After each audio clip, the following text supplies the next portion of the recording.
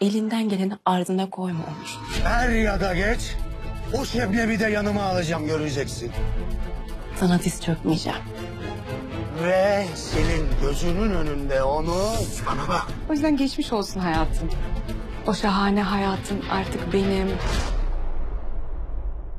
Kahveler de geldi. Ne yapıyorsun? Çığırından çıktın iyice. Benim ailemi hizmet ettirmek ne demek? Ya dursana.